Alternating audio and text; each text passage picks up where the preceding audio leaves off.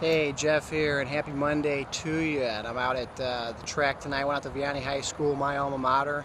Was hoping to do some laps on the track, but soccer practice is starting. So, you know, it was good to see the, the high school guys out running around. It's kind of a warm evening. They're out getting their their training in, and you know what? It's not too late for you to get your summer training in either. If you've if you've kind of lagged behind or felt like you haven't started, I'd be happy to help you out. You know, I've been having some great success with you know, our fitness groups and these 10-day shreds. I'm telling you, this 10-day shred is amazing.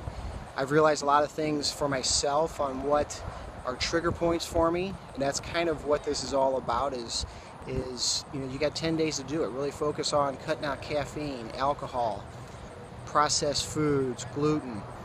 Not all those things are probably going to affect you, but for me, I found that it was caffeine that was a big thing. I was drinking a lot of coffee in the morning, and I just decided to quit it. And you know, I feel fantastic. I can't tell you that how surprised I am that I'm still off caffeine, especially coffee. Um, not eating it late in the evening or after six, 6:30. That's another big thing for people. But until you really focus on it and you can do anything for 10 days, you know, you're not going to know what it's going to do for you. It's a, it's a long-term thing too. It's not just doing this for 10 days and then you go back to old habits. That's not what it's about.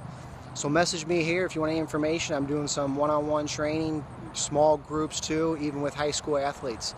Can work with you on that too. If you got some high school students that are getting ready for tryouts, be more than happy to work with you. Thanks. Follow my YouTube channel too.